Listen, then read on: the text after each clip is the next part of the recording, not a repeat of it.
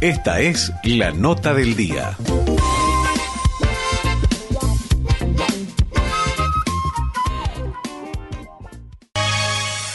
Comenzamos la semana y también con todos los reportes policiales, por supuesto, y que gentilmente que nos eh, reporta eh, y nos brinda toda la información el director de la departamental Calamuchita, el comisario mayor, licenciado Sergio Romera, a quien le saludamos. ¿Cómo le va, mayor? Muy buenos días. Hola Noé, muy buen día, inicio de semana para vos y tu audiencia.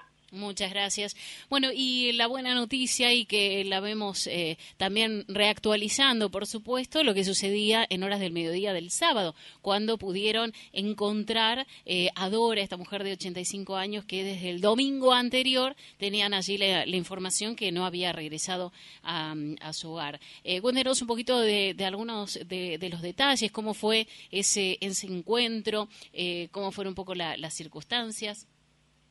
Bien, ahí seguíamos con la, con la diagramación que teníamos en, en lo que era la búsqueda, porque íbamos marcando sectores, en algunos repetitivos y en otros nuevos. Justamente en este sector es uno que nos estaba faltando aún de, de transitar y ahí los bomberos pueden constatar el, a la señora con vida tendida sobre las malezas.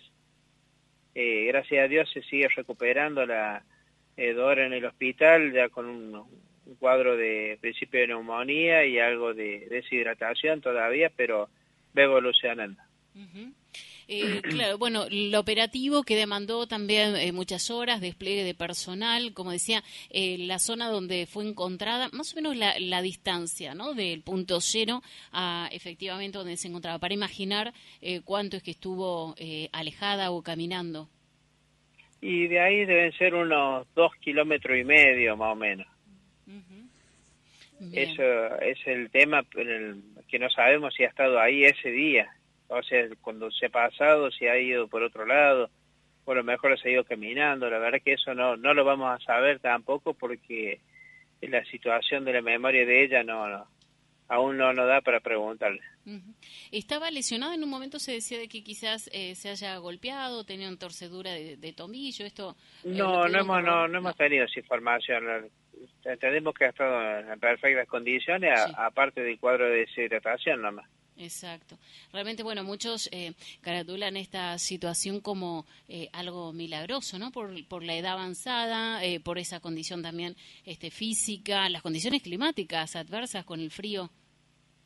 Eh, sí, el frío y después el último por el calor, por la falta de, alimentación y, y, de agua también. Han sido muchos los factores que sí lo podrían caratular como milagro. Exacto. Bueno, y desde el primer momento que tomaron conocimiento, nunca eh, bajaron los brazos y al revés hubo toda una reestructuración en cuanto al, operativo, el despliegue, muchos bomberos, el DUAR, ETAC eh, y muchas herramientas tecnológicas eh, puestas también al servicio. Sí, sí, todo lo que estaba al alcance se lo ponía y agradezco también a la familia de Dora, a sus hijos, al marido por el, apoyo permanente y, el confiar en, todo este trabajo. Bien, horas después eh, también dieron cuenta en lo que fue el domingo, tengo entendido, eh, también otra situación en Santa Rosa con una persona fallecida. Estamos hablando de un joven de 28 años. ¿Nos puede comentar también en qué circunstancias, dónde que fue eh, hallado este hombre?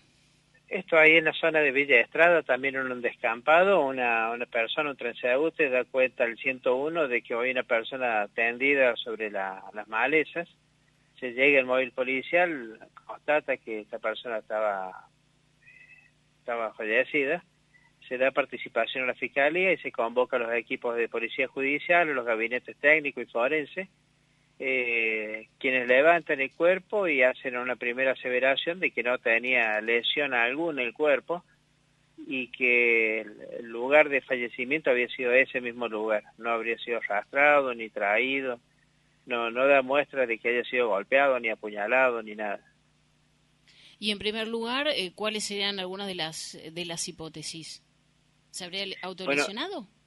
Y eso lo va, lo va a tener que determinar la autopsia, pero no hay, no hay ningún signo de, de ningún tipo de violencia, ni propia ni ajena. Ah, Bien, así que bueno, está en plena investigación. Eh, ¿Ya le han eh, realizado la, autopsia o en estos días tendrían la, el resultado? No, la están haciendo ahora, pero el informe de la autopsia pasa directamente a Fiscalía. Y horas después eh, también unos incendios que fueron casi, no sé si en simultáneo, en Santa Rosa también. Sí, en el barrio de la Hungría, con una, una, cercanía que le llama la atención, una vivienda de alquiler, una, cabaña que sufrió una, un incendio en su interior. Eh, según intervención de bomberos, habría sido a prima fase por una, un problema eléctrico. No se registró ningún tipo de lesionado, estaba sin moradores la propiedad. Eh, a metros del, del, lugar y en una prácticamente la misma franja horaria un contenedor habitacional eh, de estos que usan en las obras de construcción, que guardan herramientas y los obreros usaban también con los colchones para dormir, también se incendió en la totalidad, pero en esta ocasión se, sí se puede determinar que hubo un rasgo de intencionalidad. De todas formas, lo están peritando en estos momentos los bomberos de la Policía de Córdoba. Eh, luego también otra de las circunstancias, bueno, mm, parecen los hechos más trascendentes en Santa Rosa. Eh, estamos hablando de un robo calificado y esto sucedía en el barrio en Villa Incor, en madrugada de hoy.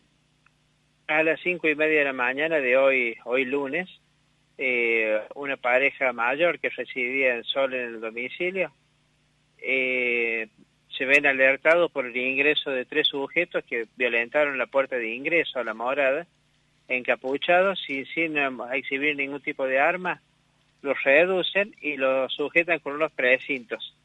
En esa circunstancia se llevan eh, algo de dinero nacional y extranjero eh, y se retiran del lugar sin llevarse eso y, y el DVR de registro fílmico de la vivienda no se llevaron ni los vehículos de alta gama, ni, ni electrodomésticos, ni, ni nada más. ¿Cómo se encuentran de salud esta pareja? Bien, bien, bien. Han sido únicamente el susto y nada más que eso. No han sido ni, golpeados ni nada. ¿Alguna de las hipótesis, por ejemplo, también que se manejan es que habrían hecho quizás alguna eh, cuestión comercial en las últimas horas y por eso eh, haya sido como punto de, de este asalto? No, no, la pareja, el, hombre es empresario del sector, eh, por la por las características de vivienda y los vehículos, se podría suponer de que tuviera dinero, mm. eh, que es lo que le exigían la, esta gente, con una tonada no, no muy propia de este lugar, y sobre todo la modalidad de, de irrumpir así de forma abrupta la vivienda, que hace rato que no teníamos un hecho con de robo con moradores. Claro. ¿Y estas personas, eh, cuántas que habrían ingresado, estaban eh, con, eh, con capuchas, estaban así ocultos sus rostros? Sí, eran tres personas las cuales tenían cubiertos y todos sus rasgos con capuchas. Mm. Así que en plena investigación con para ver si hay algún indicio, ¿no? De algunas de las cámaras y de todo el sector afectado.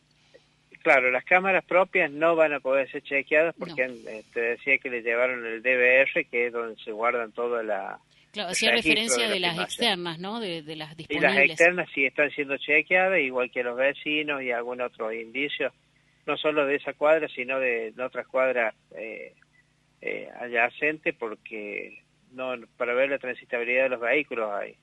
Claro. Y durante el fin de semana hubo algunos siniestros viales. Sí, algunos siniestros, pero sin, eh, sin que sean de consideración. Mm. Los controles también continuaron. Sí, sí, los tres días, tanto viernes, sábado, domingo, y se han ido sacando, estimo que hoy llegado 20 vehículos, vehículos en todo el fin de semana. Y en algunas de las localidades también hubo algunos detenidos, aprendidos, eh, resistencia a la autoridad en general, ¿no? Sí, hubo varios detenidos por alterar el orden público, eh, algunos bajo efectos de alguna, de alguna sustancia, los más próximos al alcohol, pero sí hemos tenido en, la cumbrecita, después del evento de la, de la Peña, o tuvimos detenidos en Embalse, en Santa Rosa, eh, unos menores a la salida del boliche también en Santa Rosa. Eh, ha habido varios detenidos. Mayor, muchísimas gracias, como siempre, por, por su atención. ¿eh? Que tengan lindo lunes. Hasta luego. Igualmente, hasta luego. Así conversamos con el comisario mayor, Sergio Romera, director de la departamental Calamuchita.